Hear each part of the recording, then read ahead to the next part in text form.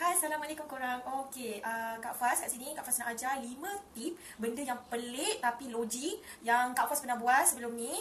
Uh, dan ini akan membantu juga menghilangkan stres. Ha, 5 tip ialah benda pelik tapi dapat menghilangkan stres. Ha, okey.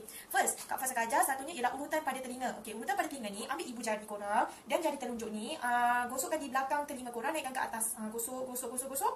Uh, ini, hal ini ialah dapat membebaskan endorfin dalam otak kita dan lebih kita rasa tenang. Uh, lebih cool lebih calm. Uh, Okey. Yang kedua ialah korang menghidu buah apple ataupun buah-buah yang buah-buahan yang, yang citrus. Okey. Tapi yang paling Uh, uh, Kak Fas akan buat ialah menghidu buah apple sendiri. Okey. Buah apple ni korang potong and then korang hidu. Lepas tu ini akan mengurangkan sakit kepala dan melegakan tekanan. Okey. Uh, kajian telah menunjukkan kalau bahawa mengidap penyakit migraine ni yang paling migraine yang paling kronik, orang menghidu uh, aroma apple tu sendiri, uh, apple hijau uh, telah melaporkan bahawa uh, mereka hidu, mereka akan mengurangkan kesakitan pada mereka. Uh, itulah dia punya kajian.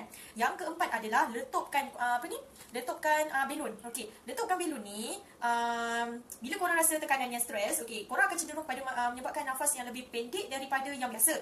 Jadi, dengan usaha korang untuk merehatkan korang punya diri korang, korang cuba meletupkan belon. Okey, ini membolehkan korang kembali bernafas pada kadar yang biasa dan boleh uh, apa ni? boleh me menghela nafas yang lebih mendalam dan panjang. Uh, berehatkan otak anda, uh, otak korang, dapat merehatkan otak korang dan mengurangkan kadar denyutan jantung. Uh, itu sangat pentinglah. Uh, Datuk Kapilun je boleh buat macam tu. Uh, why not kan kalau kita cuba. Okey, yang keempat adalah uh, telefon ibu atau ayah korang. Uh, ini selalu Kak Fas akan buat lah. Lepas kalau Kak Fas rasa macam Kak Fas stres. Okey, ini hal ini kerana bila korang menelefon ibu atau ayah korang, uh, korang akan mendengar suara mereka. Dan ini akan mengurangkan hormon tekanan dan meningkatkan hormon oxytocin yang menyumbang pada rasa yang tenang. Uh, itulah kehebatannya yang Allah berikan um, pada parents kita, parents kandung kita.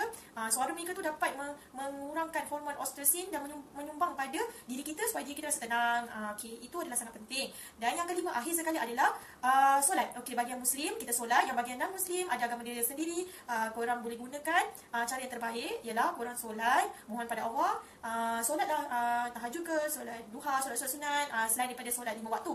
Okey, ini akan men lebih menenangkan diri korang. Uh, so kalau macam kita mendekatkan diri dengan Allah itulah sangat sangat lebih sangat tenang. Ha itulah Kak Fas nak ajar lima benda yang pelik tapi berkesan untuk diri kita. Kak Fas akan menggunakan yang paling choice yang paling terakhir akan dua benda yang terakhir inilah telefon ayah ataupun uh, uh, ataupun uh, apa ni uh, memohon pada Allah. Ha, itulah kita buat solat uh, solat tahajud, solat duha, uh, benda-benda yang itulah, solat solat sunat. Uh, itulah uh, Kak Faz akan buat yang selain daripada tiga ni adalah sampingan lah. So, kalau Kak Faz rasa macam masih lagi stres, Kak Faz buatlah yang dua ni. Memang alhamdulillah sangat mujarab dan insya-Allah korang boleh gunakan cara ni. Harap uh, apa yang Kak Faz ajar ni, uh, Kak Faz berikan ni dapat membantulah sebesedikit yang bagi yang uh, sekarang tengah stres, yang periksa exam kan, uh, yang buat assignment, uh, macam-macam lah kan. Okay, uh, itu cara daripada Kak Faz. Bye. Jumpa lagi. Assalamualaikum.